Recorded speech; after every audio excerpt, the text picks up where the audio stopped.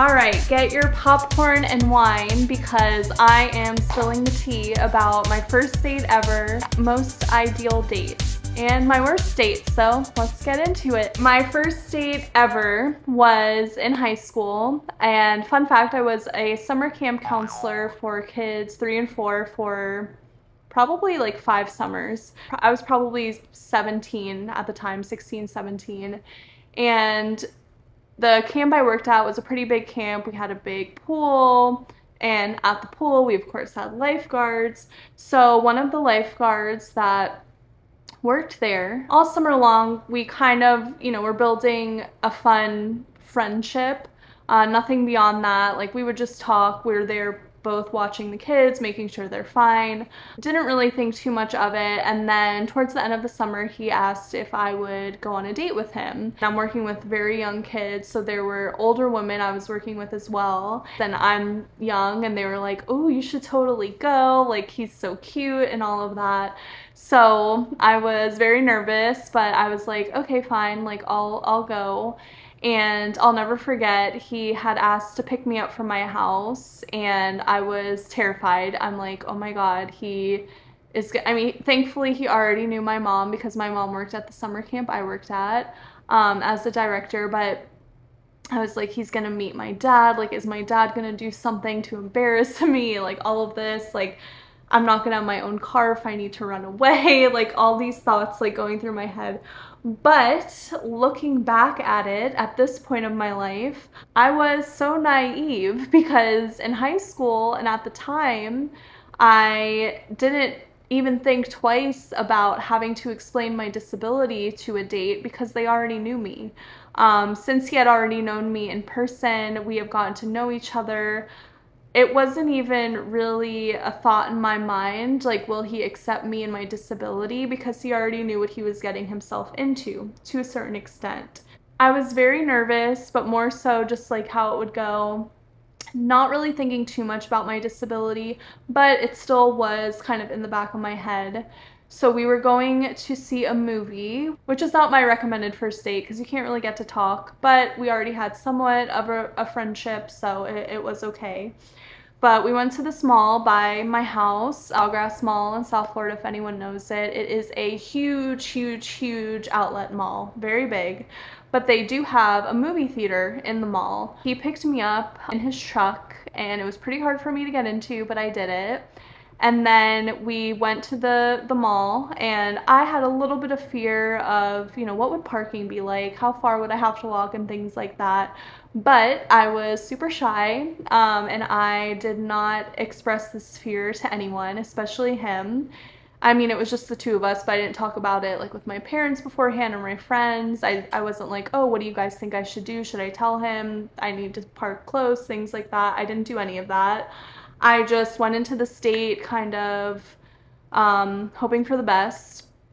So we get there and there is absolutely no parking. Like I said, it's at a mall, um, so it is packed. And he had to park three quarters of a mile. I don't know. In my head, it felt like five miles. And because I was so shy, I didn't say anything. And I was just like, okay, like I'm just gonna walk. It'll be totally fine. So he parks we get out of the car and we just start walking and and in my head I remember I'm like I don't know if I'm gonna be able to do this. Um, it's really hard for me in general to like walk and talk. So I was like trying to respond to him conversationally but also trying to just like keep my stamina up to make it um, so long story short, we make it to the movie theater. I am sweating, uh, probably really grossly because I just had to use so much energy to get here. And from there we go to the, the movie theater, like the actual one where our movie is playing. I don't even remember what the movie was, to be honest. But I do remember we were late and the credits were already starting and for whatever reason, the theater was absolutely packed where the only available seat was literally the last row, like the top row. So I had to climb up all of these stairs. I'm already exhausted. I was like, all right, let's do this. So we walk up all the stairs. We get up there. I sit down.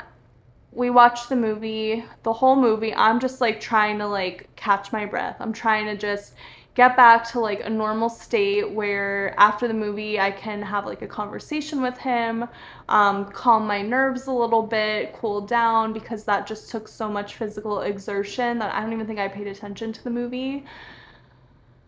So then the movie ends and we're kind of like somehow snaked in the middle of all these people. I'm like, let, let the people clear out first. I'm going to take my time going down these stairs because one, it takes me a long time in general and two, I cannot speed through this the way we did on the way here. So on the way going down the stairs, I lose my footing and I trip and fall. So yes, my first date ever definitely did not go the best. Um, he was so nice about it. And of course, like, how would he know any better that I needed, you know, to park up close or I couldn't walk that far um, if I hadn't told him? So I take full responsibility. You know, I didn't tell him I needed these things, which now I would never do. Like, now as a 30 year old woman who's embracing my disability, I totally would tell a date, like, I need to park closer. But back then, 16 and 17, it just wasn't who I was. I was not there yet, and I just wanted the state to go well.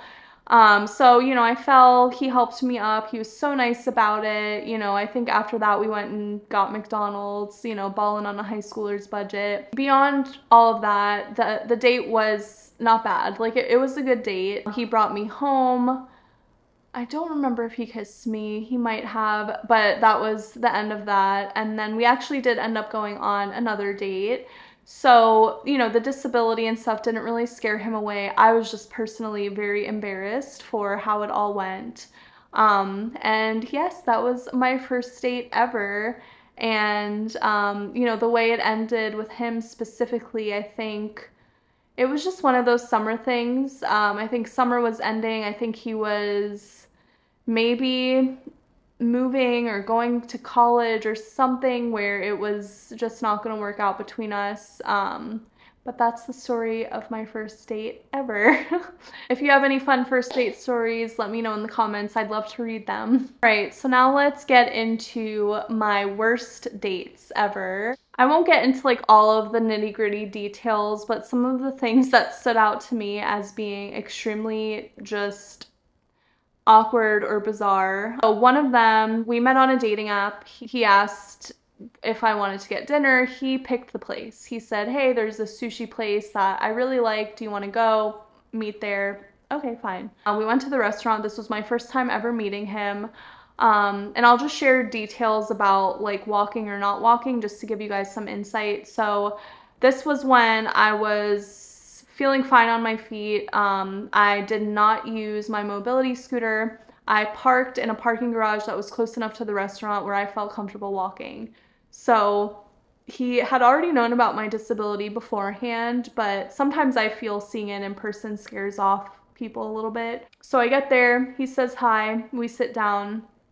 Totally fine, casual conversation. It wasn't horrible. It was fine. Like it was just a, a conversation, very getting to know each other.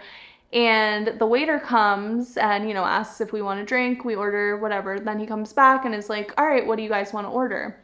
And the guy I'm on a date with who picked the restaurant that he recommended looked at me and said, All of this sushi looks horrible. I don't like that they put this ingredient in all these rolls. I'm not going to get anything but what do you want? And this is while the waiter is like standing over us. So I'm like, one, he just insulted this restaurant that we're at. And two, then proceeds to ask me what I want to get. So I feel super awkward. I'm like, okay, so is he not like into me? Is he just not knowing how to end this date that he's not going to eat? Um, so I'm like, oh, I'm actually not gonna eat either if you're not gonna eat. Like, I don't wanna do that. It honestly just feels really weird. You're just gonna watch me eat, like, whatever. I was just like, okay, I wanna get out of here as soon as possible. This guy obviously is not feeling me. He doesn't even wanna eat here. He's the one who picked the restaurant. Like, this is bizarre behavior. So, we just have a drink. Um, he may have ordered another one, so we sat through that, whatever, continued the conversation. And then I'm like, all right, I'm ready to head home, or I'm sure I didn't say it as direct as that because I'm pretty shy sometimes. So we walk out, and as soon as we walk out of the restaurant, he stops me, and I'm like, oh, is he gonna tell me, like, it was nice knowing ya, bye, or, or something? And then he asks if he can kiss me.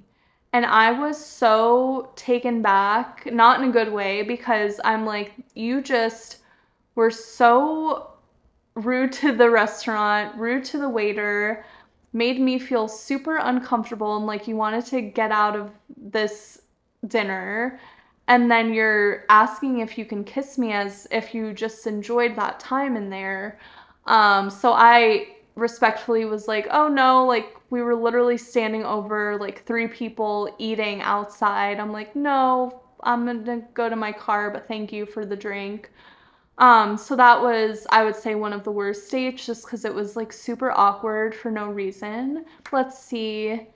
I'll share one of my best dates, especially on a first date. I like something that's not a lot of walking whatsoever, unless I have Scootz with me, of course um, because it, it's just challenging, as I said, to walk and talk and all of that. So I like something where I could sit down and have a conversation.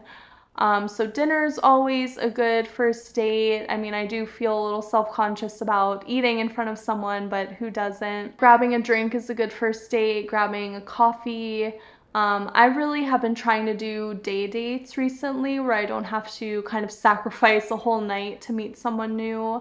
I can meet them during the day for a couple hours and then kind of go on with the rest of my day and do whatever I'm gonna do. But one of the dates I really enjoyed um, was a couple years after college. I had met this guy and it was probably like our third or fourth date so we had already like gone to dinner a few times lunch he brought me to like a painting with a twist, which I thought was really fun because one, it's like seated, which is good for me. Two, it's kind of an activity where you can um, get to know the person, but you also have something to do. You could bring your own drinks and things like that. Um, so for me personally, I think that was one of my favorite dates I had done. Those are just a couple date stories in the spirit of Valentine's Day. I think it's really important for me to open up about my dating history in this way. I think there's a lot more I could share and I just want to continue to share for people to understand that you're not alone. Um, it's pretty challenging dating in itself and dating with a disability adds a whole bunch of other layers to it. So I just share this to give insight to either people with disabilities or people without to understand um, kind of the things that we go through. If there's anything else you are interested in hearing from me about dating with a disability, let me know.